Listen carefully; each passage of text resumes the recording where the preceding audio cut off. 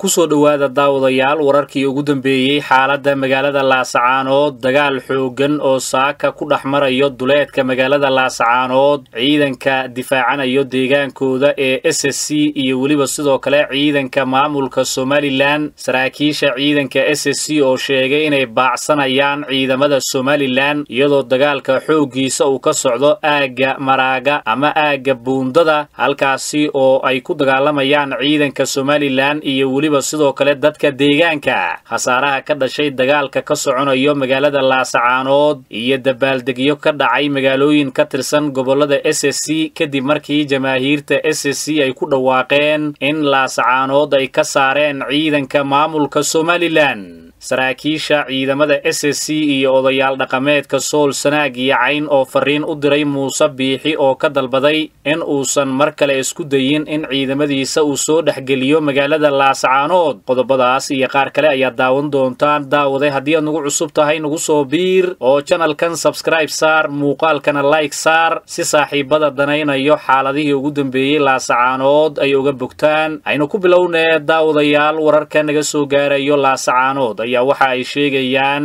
in xarunta gobolka sool duleedkeeda uu ka soconayo dagaal u dhexeeyo ciidamada somalilan iyo dadka deegaanka ee la magac baxay s s c. Somalilan ayaa waxaa ilaa saddex jiho oo magaalada laasacaanood ah ay isaga baxeen ciidamadoodii iyada oo dagaalka haatan la sheegay in ciidamada s s c ay ku baacsanayaan ciidanka somalilan saldhigyada kale iyo goobaha kale ee fariisiinka ay ka dhigteen in laga sii saaro meelaha uu ka soconayo dagaalka ayaa waxaa ka mid a aagga maraaga ama aagga buundada booda garoonka diyuuradaha ina iidle oo labaatan kilomitir u jirto laasacaanood. Dhinaca bari ayayna kaga beegan tahay. Jamaahiirta s s c ayaana sheegay in ay ka guulaysteen ciidanka somalilan oo ay ka saareen dhammaan goobihii ay kaga sugnaayeen. Magaalada laasacaanood sida hutel xamdi iyo weliba sidoo kale dhanka bari waxaa dhanka kale saldhiggii ugu weynaa ee xerada ciidanka cambaashe uu watay ee lagu magacaabo guulwadayaasha maalinnimadii sabtidii laga saaray cambaashe iyo saraakiishii koobnaa ee ku soo haray. Jamaahiirta s c ayaana halkaasi ku weeraray cambaashe iyo saraakiisha kale ee diiday inay ku soo biiraan oo ay la dareen noqdaan dadkooda. Waxaana cambaashe laga qabsaday gaadiid dagaal oo kaarayaal ay ka mid yihiin iyadoo dhanka kale ciidanka somalilan ay sheegeen in ay soo weerareen ina cambaashe iyo ciidamadiisa. Kooxo ay ku tilmaameen argagixiso iyo weliba. Maamulka puntland jamaahiirta s s c ayaa dhankooda waxa ay sheegeen in ciidamada somalilan dagaaladii ugu dambeeyey ay kaga adkaadeen kuna guulaysteen in ay iyagu ka saaraan saldhigyadii ay ku sugnaayeen ciidanka maamulka somalilan. Sarkaal u hadlay ciidamada s s c ayaana waxa uu fariin u diray madaxweynaha somalilan muuse biixi cabdi oo uu sheegay in uusan mar kale isku dayin ciidamadiisa in uu soo geliyo magaalada laasacaanood waxaana sarkaalkan uu xaqiijiyey inay ka go'an tahay hirgelinta go'aankii ay gaareen garaadada sool sanaag iyo cayn ee ahaa inay si toosa u hoostegayaan dowladda federaalka soomaaliya ayna aqoonsanayn. Gooniysutaagga waxa loogu yeedho oo somalilan ay hore ugu dhawaaqday. Nin meydkiisa iyo dhaawiciisa qaadan kari waayey. Waa la yaqaanaa yacni jabka ku dhacay cid waliba way garan kartaa. Sayidina maxamed sala allahu calayhi wasalam dhammaan xoogagga s c waxaan u rajaynayaa guul iyo gobonnimo waarta. Sidii aad u dagaalanteen u halganteen u dhimateen aadna u dhiman doontaan dalkiinna iyo dadkiinna shacabkiinna iyo maatadiinna aad iyo aad baad ugu mahadsan tihiin haddaad tihiin xoogagga xaqudirirka waxaan u sheegayaa nimanka uu soo khalday muuse biixi ee uu ula baxay ciidanka qaranka. Waxaan u sheegaynaa inay yihiin maleeshiyaad uu isu soo aruuriyey adduunka iyo caalamkaba. Aysan ahayn wax ciidan qaran leeyahay aysan jirin. Shan iyo toban sane ayuu joogay gobolka sool oo isugu aruursanayay maleeshiyaadkaas. Shan iyo tobankaas sano waxaa aruursanayey waxaannu nahay kuwa ku soo afjaray hal saac gudahood ama maalin. Waxaa weeye waxa ay ku sameeyeen shacabka gobolka sool waxaa weeye annagu odhan mayno maanta shacabka burco iyo hargeysiya berbera ayaannu ka goynaynaa. Laakiin maleeshiyaadka oo isu soo aruursaday ayaannu ka jari doonnaa waana ka jarnay insha allah meydkoodii iyo dhaawacoodii iyo dhimashadoodiina waa ka hareeraha iyaga daadsan ee annagu aannu aruurinanno. Meyd qolo malehe aannu asturanno. Nin meydkiisa iyo dhaawaciisa qaadan kari waayey waa la yaqaanaa yacni jabka ku dhacay cid waliba way garan kartaa marka waxaan u sheegayaa inaan guulaysannay haddaannu nahay gobolka sool guushaasna aannu sii wadi doonno ilaa iyo halka ugu dambaysa ee hadafkayagu yahay. Aad baanna idiin salaamayaa nin meydkiisa iyo dhaawaciisa qaadan kari waayey.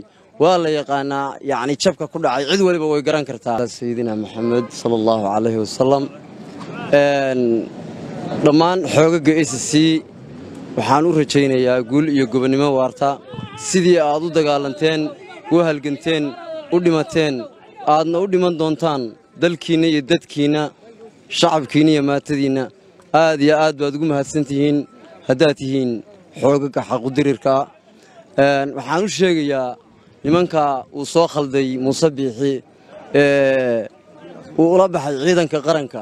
Waxaan u sheegaynaa inay yihiin maleeshiyaad uu isu soo aruuriyey adduunka iyo caalamkaba aysan ahayn wax ciidan qaran leeyahay aysan jirin. Shan iyo toban sano ayuu joogay gobolka sool oo isugu aruursanayay maleeshiyaadkaas. Shan iyo tobankaas sano waxaa aruursanayey waxaannu nahay kuwa ku soo afjaray hal saac gudahood ama maalin. Waxaa weeye waxa ay ku sameeyeen shacabka gobolka sool waxaa weeye annagu odhan mayno maanta shacabka burco iyo hargeysiya berbera ayaannu ka goynaynaa. Laakiin maleeshiyaadka oo isu soo aruursaday ayaannu ka jari doonnaa waana ka jarnay insha allah meydkoodii iyo dhaawacoodii iyo dhimashadoodiina waa ka hareeraha iyaga daadsan ee annagu aannu aruurinanno. Meyd qolo malehe aannu asturanno. Nin meydkiisa iyo dhaawaciisa qaadan kari waayey waa la yaqaanaa yacni jabka ku dhacay cid waliba way garan kartaa marka waxaan u sheegayaa inaan guulaysannay haddaannu nahay gobolka sool guushaasna aannu sii wadi doonno ilaa iyo halka ugu dambaysa ee hadafkayagu yahay.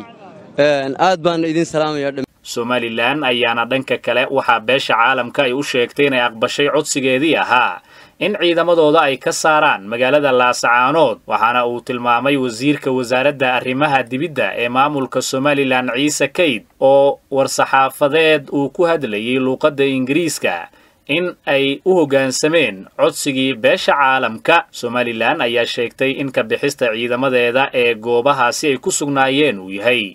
Qorsho ay dhankeeda ku dhaqangelinayso xabad joojintii ay dhowaan ku dhawaaqday wasiirka arrimaha dibidda somalilan doctor ciise kayd oo soo saaray war-saxaafadeedkan ayaa waxa uu sheegay in tallaabadan ay qaadeen si beesha caalamka iyo bulshada soomaalida ay ugu muujiyaan in dhankooda ay ka go'an tahay xabad joojin in ay hirgasho.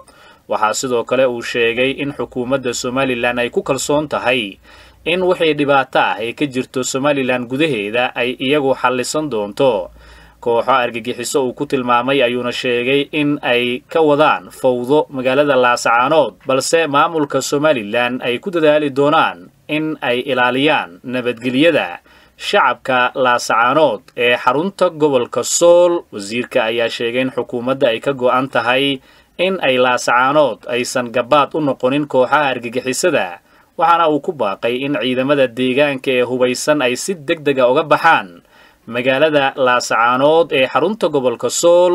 Intaas ayaannu ku soo gebagabeynaynaa daawadayaal muuqaalkan aad daawanayseen. Tan intaannu dib ugu kulmi doonno muuqaallo kale waxaannu idinkaga tegaynaa sidaas iyo nabadgelyo